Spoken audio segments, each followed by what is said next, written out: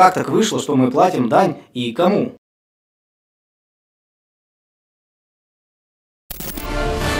Достойная жизнь не даруется свыше и наступает сама собой.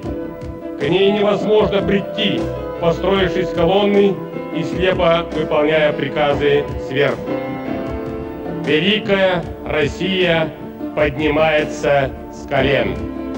Мы обязательно превратим ее процветающее, демократическое, миролюбивое, правовое и суверенное государство.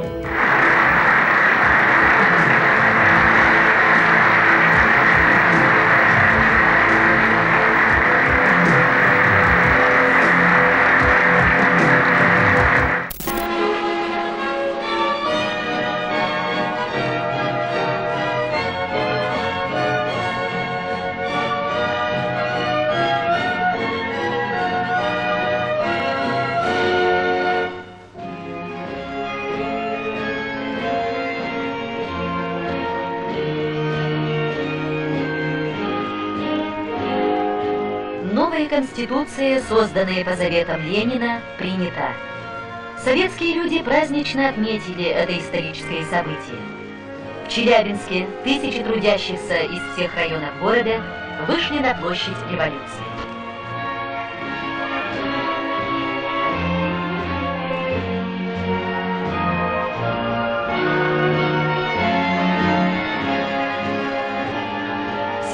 Выступавшие на митинге говорили об огромном значении основного закона, закрепившего достижение нашего государства за 60 героических лет.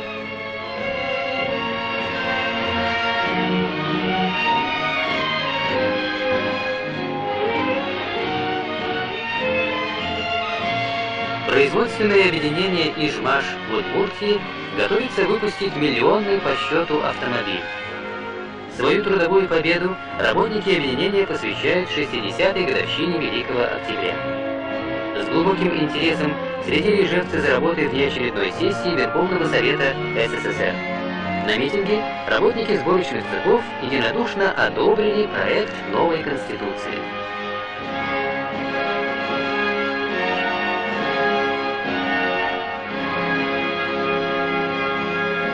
Конституция – основной закон Союза Советских Социалистических Республик, принята на внеочередной седьмой сессии Верховного Совета СССР 9 созыва 7 октября 1977 года.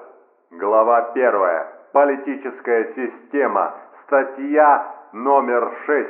Руководящий и направляющий силой советского общества, ядром его политической системы, государственных и общественных организаций является Коммунистическая партия Советского Союза. КПСС существует для народа и служит народу.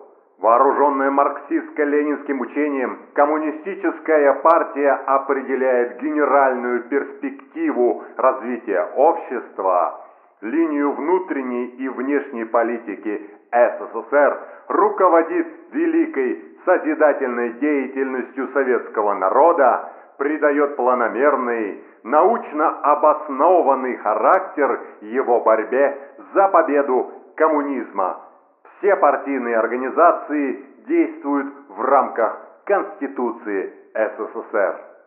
Уберите рекламу. Это, ну... А на второй канал, Миш, переключите, может там Так уже... это второй канал. В этом здании была провозглашена советская власть на Урале.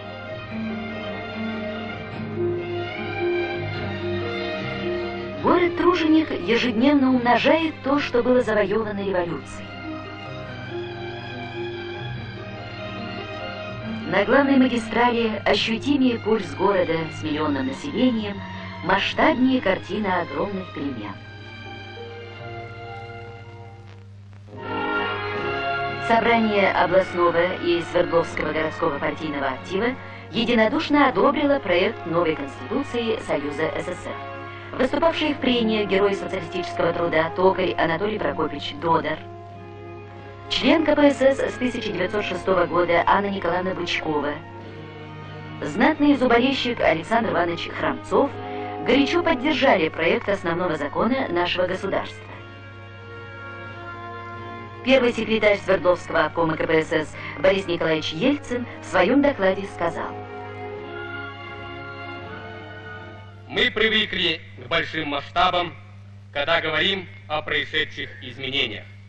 Но сегодня хочется назвать их, чтобы еще раз почувствовать эти грандиозные изменения, происшедшие всего лишь за 40 лет.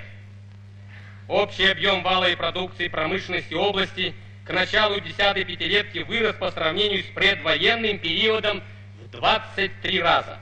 За прошедшие годы вступили в строй крупнейшие предприятия страны, Нижнетагильский металлургический комбинат, Первоуральский и Синарский трубные заводы, Уралхиммаш, Уральские турмоторы и другие.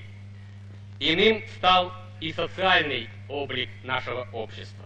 Наш рабочий класс сегодня – это две трети населения страны советский образ жизни выступает образом жизни рабочего класса по своей классовой сущности, по своему содержанию. В его основе лежит мировоззрение рабочего класса, а это марксистско-ленинское мировоззрение. Здравствуйте. Сегодня в первой половине дня состоялась встреча Горбачева и Ельцина. В 16.00 президент СССР начал выступление на сессии Верховного Совета России, а в 16.20 прозвучало вот такое заявление.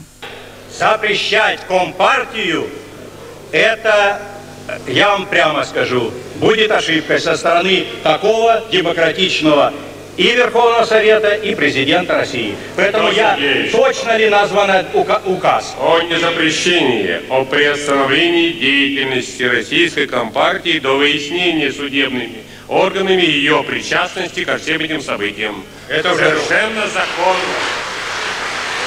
Очень много сделано в считанные дни, даже часы. Но впереди очень много трудностей, и, может быть, главное из них – суметь правильно и сразу воспользоваться результатами завоеваний. Правильно и немедленно. Обсуждая возможности сотрудничества с Европейским банком реконструкции и развития, мэр Ленинграда Анатолий Собчак заявил президенту банка господину Атали, что западные инвеститоры могут рассчитывать на то, что им в качестве гарантии их вкладов будут проданы некоторые наши заводы и предприятия. Они смогут купить землю и организовать на ней производство, которое затем будет передано им в собственность. Анатолий Собчак выразил также надежду на то, что теперь, когда партийные структуры должны будут отойти от власти, препятствий для сотрудничества не будет. А для чего нужны вклады? Понятно. Однако интересно то, что первым пунктом перечня наших нужд Анатолий Собчак назвал необходимость обучения и образования новых людей, которые смогут с пользой для Отечества трудиться в совершенно новых условиях. Коммунистический идол, который сеял повсюду на земле социальную рознь, вражду и беспримерную жестокость, который наводил страх на человеческое сообщество, рухнул. Рухнул навсегда. И я здесь для того, чтобы заверить вас, на нашей земле мы не дадим ему воскреснуть. Опыт минувших десятилетий научил нас, коммунизм не имеет человеческого облика. Свобода и коммунизм несовместимы. Хотел бы закончить свое выступление словами из песни американского композитора российского происхождения Ирвина Берлина. Господи, благослови Америку. Fantastic presentation. I appreciate it.